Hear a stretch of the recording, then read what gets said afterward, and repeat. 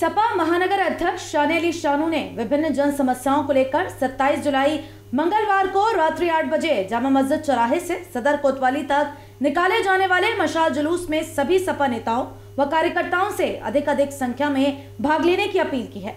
श्री शानू 25 जुलाई की दोपहर को चक्कर की मिलक मुरादाबाद स्थित सपा कार्यालय पर सपा युवजन सभा के महानगर अध्यक्ष अक्षय भटनागर के स्वागत समारोह में भाग लेने के बाद सिटी चैनल के साथ बातचीत कर रहे थे। उन्होंने बताया देखिए हमारा जो 27 तारीख की रात्रि आठ बजे मशाल ज़रूर निकलेगा जो जामा मस्जिद चौराहे से शुरू होकर सदर कोतवाली तक रह जाएगा।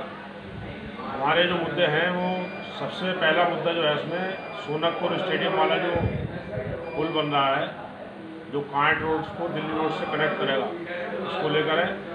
उसका पैसा मंजूर हुआ है, पैसा आया पड़ा है, मगर उसके बाद भी ठेकेदार द्वारा काम शुरू नहीं किया जा रहा है जिसकी वजह से लोगों को परेशानी हो रही है।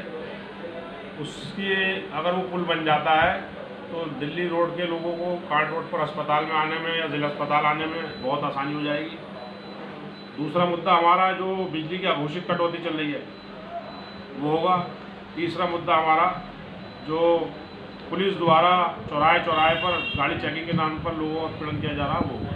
मशाल जुलूस में शिरकत को लेकर आप क्या अपील करना चाहेंगे पार्टी कार्यकर्ताओं पार्टी के सभी नेताओं से कार्यकर्ताओं से और अपने साथियों से अपील करूँगा कि ज़्यादा से ज़्यादा में तादाद लोग पहुँचे जिससे जो जनता के मुद्दे हैं उन्हें पूरी ताकत के साथ हम उठा सकें।